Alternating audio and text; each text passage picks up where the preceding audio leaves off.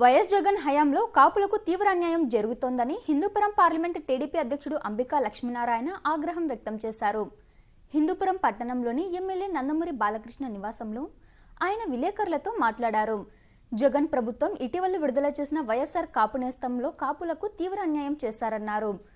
మహిళలకు ప్రతి ఏటా పదహైదు వేల రూపాయల చొప్పున ఐదేళ్ళలో డెబ్బై ఐదు వేల రూపాయలు ఆర్థిక సహాయంగా అందజేస్తున్నట్లు సీఎం ఆర్భాటంగా ప్రకటించారన్నారు. కానీ ఇప్పుడు జరుగుతున్నది వేరన్నారు. కాపులను మోసం చేసిన సీఎంగా చరిత్రలో సీఎం జగన్ నిలిచిపోయాడన్నారు. ఈ కార్యక్రమంలో టీడీపీ రాష్ట్ర కార్యదర్శి రామాంజనమ్మ పట్టణాధ్యక్షుడు డిఈ రమేష్ నాయకులు ప్రభాకర్ వెంకటేష్ హర్షవర్ధ నారాయణ నాయకులు అమర్నాథ్ శివకుమార్ విజయలక్ష్మి నజీర్ అహ్మద్ చిన్నకృష్ణ నవీన్ శ్రీనివాస్ రెడ్డి మహేష్ తదితరులు పాల్గొన్నారు.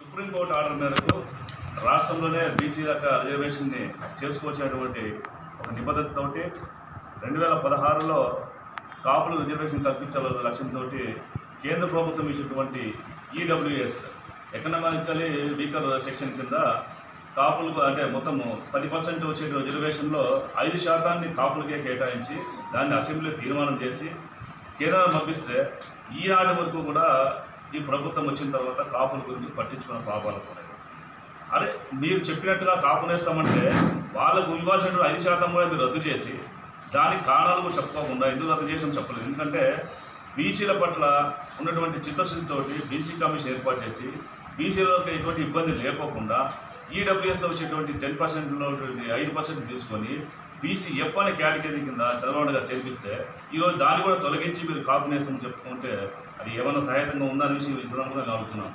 ఎందుకంటే ఇప్పటికే మీరు చాలా తప్పుల మీద తప్పులు చేస్తున్నారు. యాభై నాలుగు బీసీ కార్పొరేషన్ ఏర్పాటు చేశారు. ఇంతవరకు ఒక్క రూపాయి కూడా ఏ కార్పొరేషన్ ద్వారా ఎవరికి ఇచ్చినటువంటి పాపన పోలేదు. కేవలం చైర్మన్లు మాత్రం పెట్టినారు తప్ప ఇంతవరకు ఆ యొక్క సంక్షేమం వాళ్ళ కులాల గురించి కూడా మీరు పట్టించుకున్న పాపన పోలేదు. ఈ రోజు కాపునేస్తాం చెప్పేసి మీరు పేపర్లో విడుదల చేసి పెద్ద ఎత్తున ప్ర- ప్రకటన చేసుకుంటున్నారు. ఈరోజు కాపులకు ఇవ్వాల్సినటువంటి ఈ రోజు మీరు ఏదైతే మూడు వందల కోట్లు మాత్రం మూడు వందల ముప్పై కోట్ల రూపాయలు ఇచ్చారు. కానీ మీరు చెప్పినటువంటి అసెంబ్లీలో ఒక మాట మాట్లాడారు. బడ్జెట్ సమావేశంలో కోటి యాభై లక్షల మంది కాపు ఈ రాష్ట్రం అన్నారు.